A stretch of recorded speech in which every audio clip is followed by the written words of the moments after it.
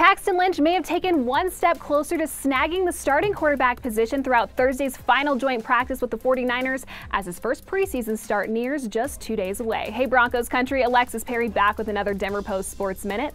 We've been waiting for Lynch to capture our attention, not just because there's a chance he could be under center for the entire 2017 season, but just because he finally did something to separate himself from Trevor Siemian. Thankfully, Nick Kosmider of the Denver Post was in Santa Clara to unofficially count completions for us document the day that Lynch stole the show. Denver's first round 23rd overall pick in the 2016 draft finally looked like a first round caliber player as he completed all 12 pass attempts throughout 11 on 11 and 7 on 7 drills. Kosmider wasn't the only one who took notice. Demaryius Thomas mentioned after their two and a half hour session that it was, quote, hands down one of Lynch's best days. John Elway added that he's making progress and is definitely playing with a little more confidence.